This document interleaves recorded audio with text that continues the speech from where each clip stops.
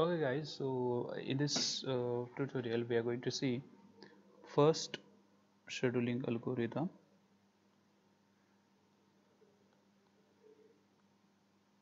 That is first come first serve scheduling algorithm.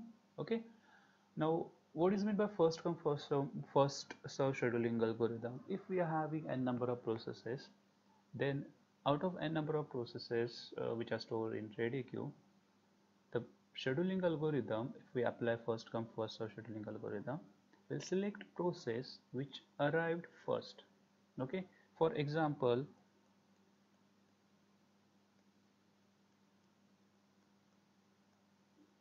consider we are having three processes P1, P2 and P3 and uh, they are having some burst time. Okay like 20 suppose 24 3 and 3 now this burst time is normally in millisecond. Okay the process p1 arrive first. So obviously we'll take p1 first for execution. After p1 p2 will arrive first. Then we'll take p2 for execution. And after that we'll take p3 for execution. Okay now for every process if we want to calculate uh, waiting time turnaround time and all these things completion time we must have to draw Gantt chart okay? We have to draw Gantt chart okay? A Gantt chart is nothing but a pictorial representation of the processes their arrival time and their completion time okay? And as well as waiting time okay? So we'll we'll get to know uh, idea about the execution sequence of the processes through Gantt chart. Okay? So we'll start our Gantt chart with 0 okay? Now at this instant we are taking P1 process for execution because it is arrived first and as per the first come first serve scheduling algorithm we must have to execute this process. Okay? Now it is burst time is 24 millisecond so after 24 millisecond or at 24 millisecond it will be terminated. It will be executed completely. Okay?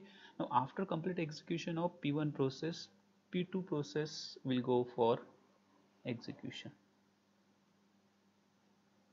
Okay? Now it is burst time is 3 millisecond.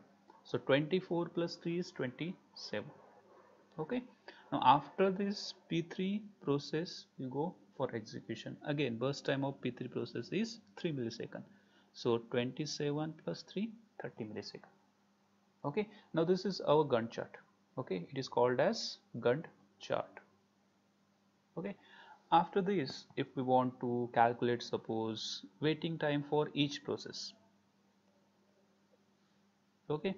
Then we can see p1 process waiting time is 0 millisecond because when all the processes are available we first took p1 process and its waiting time is 0 millisecond.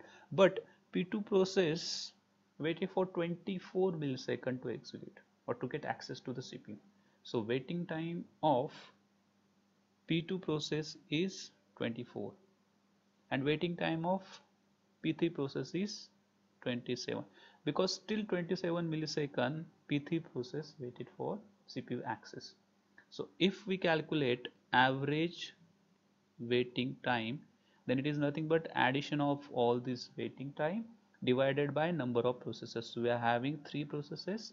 So 0 plus 24 plus 27 divided by 3 is equal to 17 millisecond okay. So this is related to first come first serve scheduling algorithm